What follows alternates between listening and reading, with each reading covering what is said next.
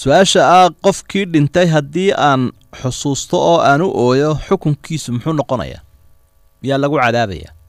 Marka hore nebigu wuxuu tilmaamay calayhi salaatu wasalaam ina almeyit la yucadabu bibukaa'i ahlihi calayh. Waa xadiid saxiixa qofka dhintay waxaa lagu cadaabayaa baroorta ay u soo baroorteen dadkii ehelkiisa ahaa intuu dhintay kadib culimmadu markaa xadiidkaa kolkay sharxayeen waxa ay leeyihiin horta oohintaa uu nebigu sheegay waa tii qayladu la socotay.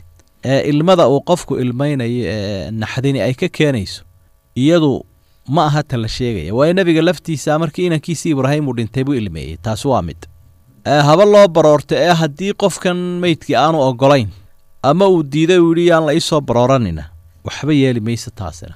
Laakiin goorta lagu cadaabayaa waxa weeye markuu gaal yahay sida kii yuhuudiga ahaa oo kale markaa wakhtigii caaisha ay ka warramaysay ama qofkani uu isaguba dardaarmuu yidhaahdo si aa si loo ogaado qof weyn inaan ahaa oo muddo karoo magac leh ii soo baroorta. Ama wuxuu ogaa dadkiisani siday u jecel yihiin inay u soo barooranayaana uma dardaarmin. Xaaladahaasoo kale gaboodfalba xaggiisa ka yimi waa lagu cadaabi karaa.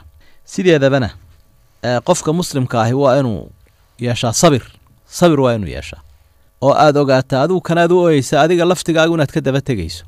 Halka lagu xaroonaya lagu sii socdaana ay aakhirata alaabta waa inaad isaga sii xidhxidhataa geerida intaad oyda iska daayo. Markaad aakhiro xusuusan tahay iyo geerida iyo inaad tegayso oohinta iyo xusuusta way kaa yaraanaysa laakiin qofkan uu qaadan waabay ku noqoto aakhiraan ku talagelinba markuu ilmaynayo.